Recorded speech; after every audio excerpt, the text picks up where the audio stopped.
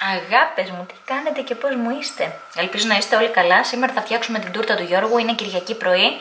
7 η ώρα το απόγευμα έχουμε τα γενέθλια. Σας έχω δείξει ήδη τη συνταγή με το cheesecake που έκατσα και έκανα χθε Σάββατο. Σήμερα θα κάνω την τούρτα και τώρα έχω ανεβάσει πλάνα πρώτη φορά με drone στο κανάλι μου από το λιμάνι της Ρόδου στο Μανδράκι. Είμαι καταενθουσιασμένη με αυτό το βίντεο, ελπίζω να είστε και εσείς. Πάμε να ξεκινήσουμε. Έχω πάρει πατησπάνι έτοιμο γιατί πραγματικά έχω ψοφήσει στις δουλειές, έχω κουραστεί πάρα πολύ. Πατζούρια, πλησίματα, σίτες, έξω αυλές που γίνεται ο κακός χαμός με τα πεύκα, πευκοβελώνες, χίλια δυο. Οπότε δεν ήθελα να εξαντληθώ, θέλω να έχω ενέργεια για το απόγευμα, για τους φίλους μας, για τα γενέθλια του Γιώργου μου, για να τα χαρώ μαζί του. Επομένως το πατεσπάνι αυτή τη φορά είναι έτοιμο. Με σοκολάτα, με κακάο. Τα αφήνουμε στην άκρη. Θα χρειαστεί πολύ στολισμό. Τι θα κάνουμε. Θα ρίξω τις δύο κρέμες ζαχαροπλαστικής. Θα ξεκινήσω με τις κρέμες, διότι θέλω να τις βάλω στο ψυγείο, να παγώνουν. Είναι από γιώτης, είναι με γεύση βανίλια, θα βάλω δύο τέτοιες. Είχα πάρει τρεις, τη μία την έβαλα στο cheesecake, την έχετε δει στο cheesecake.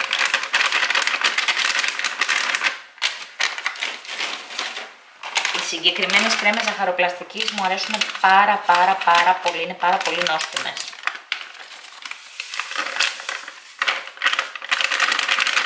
Και κάθεται και ωραία η κρέμα. Λοιπόν, δύο φακελάκια. Στο κάθε φακελάκι λέει 400 ml γάλα. Εγώ θα χρησιμοποιήσω για όλη την τούρτα 1,5 ε, λίτρο. Πάμε να ξεκινήσουμε. Αυτή είναι η μία κρέμα μας. Θα τη βάλουμε ένα τέταρτο στην κατάψυξη για να κρυώσει γρήγορα. Συνεχίζουμε με τη δεύτερη κρέμα ζαχαροπλαστικής. Είναι η συγκεκριμένη με γεύση σοκολάτα, πάλι δύο φακελάκια. Και ακολουθούμε ακριβώς την ίδια διαδικασία. Επόμενο βήμα, να πάρω μια βάση. Παίρνω τη βάση που βάζω το κέικ θα χωρέσουν μια χαρά πάνω τα πατεσπάνι για να στηθεί η τούρτα.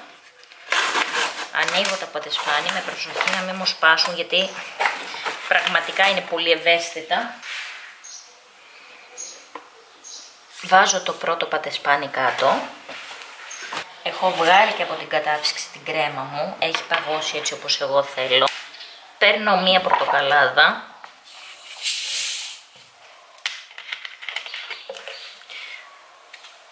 βάζω σε ένα μπολ. Τώρα αυτό με το μάτι θα το δείτε όσο χρειαστεί.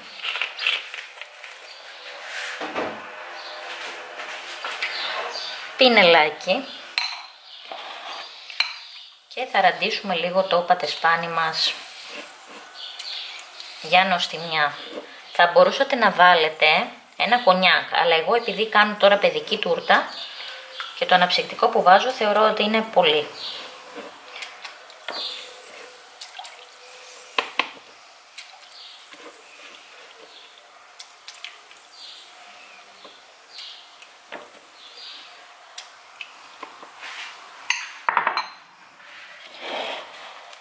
Παίρνω από τη λευκή μου την κρέμα ζαχαροπλαστικής, βάζω μία ποσότητα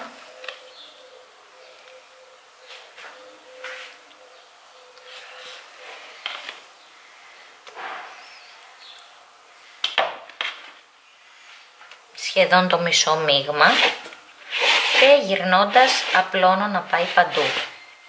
Αφού έχουμε απλώσει καλά όλη την κρέμα, βάζουμε από πάνω το πατεσπάνι, το πατάμε ελαφρώς και το βρέχουμε και αυτό με πορτοκαλάδα, το ραντίζουμε με πορτοκαλάδα και αυτό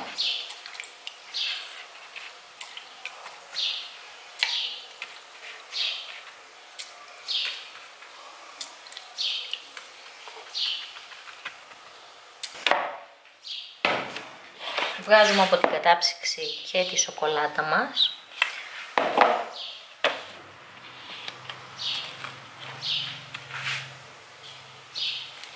Κάνουμε την ίδια ακριβώς διαδικασία. Και βάζουμε το τελευταίο μας κομμάτι. Τώρα αντίζουμε και αυτό με πορτοκαλαδίτσα. τρύπατη τούρτα δηλαδή.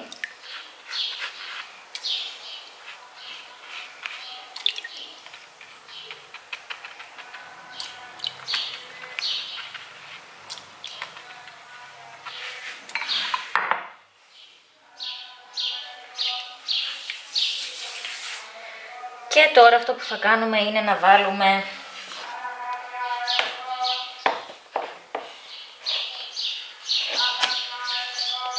κρέμα ζαχαροπλαστικής άσπρη. Θέλω να είναι βανίλια, σοκολάτα, βανίλια.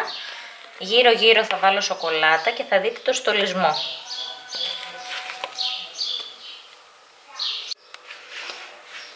Έχω βάλει από πάνω, δεν την έχω στρώσει ακόμη καλά. Βάζω γύρω γύρω σοκολάτα.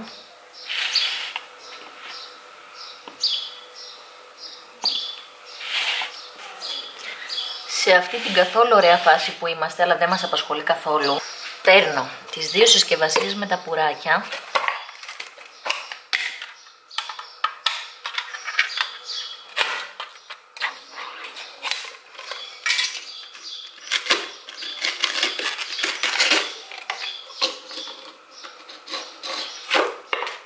και ξεκινάω να κολλάω πουράκια γύρω γύρω από την τούρτα μου.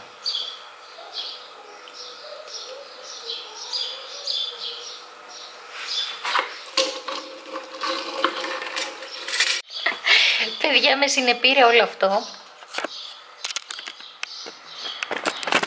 Πραγματικά με συνεπήρε όλο αυτό η χαρά μου που δημιουργώ για το παιδάκι μου. Άλλες μαμάδες κάνουν στον παιδότοπο απλά και δεν θέλω να κατευθύνουν με γενέθλια. Άλλες κάνουν μόνο μία τούρτα. Άλλες κάνουν παραπάνω πράγματα. Εγώ ήθελα να κάνω παραπάνω πράγματα για αυτή την ευλογημένη μέρα. Έκανα το cheesecake, έκανα την τούρτα.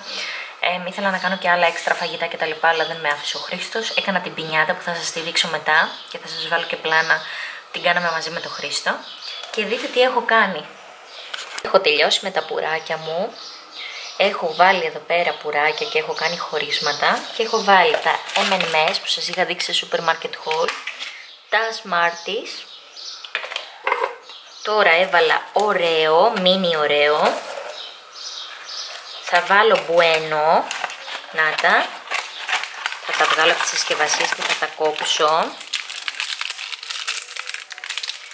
Παιδιά δεν ξέρω, εγώ είμαι πάρα πολύ ενθουσιασμένη. Πιστεύω θα αρέσει πολύ και στο Γιώργο. Κάτι διαφορετικό φέτος. Να, θα τα κόψω.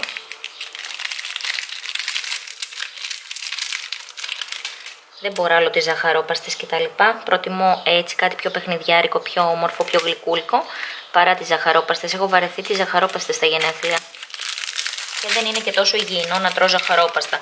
Όχι τώρα ότι αυτά όλα τα πάνω είναι υγιεινά, αλλά μόνο και μόνο που είναι σπιτική και έχει την κρέμα κτλ. Νομίζω ότι είμαστε πολύ καλύτερα. Βέβαια ο καθένας κάνει ό,τι θέλει έτσι, χωρίς παρεξήγηση έτοιμα και τα μπουένο. Τώρα θα βάλουμε και χύπο, τον υποπόταμο.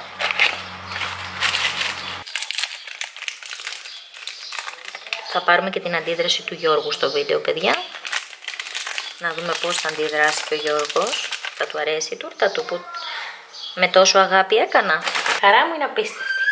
Το έχετε καταλάβει, έτσι; Δείτε πόσο όμορφη είναι. Ω, έπεσε το κερί μας, αυτοκτόνησε. Σας αρέσει, για πείτε μου.